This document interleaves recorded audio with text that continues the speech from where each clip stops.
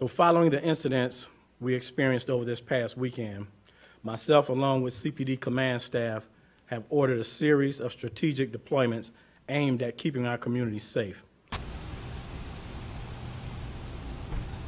CPD will have an additional 430 officers deployed this week and 600 additional officers on the weekends. All of these teams will be coordinating with CPD crime analysts in our strategic decision support centers that are working 24/7 to ensure that our deployments focus on the right places at the right times.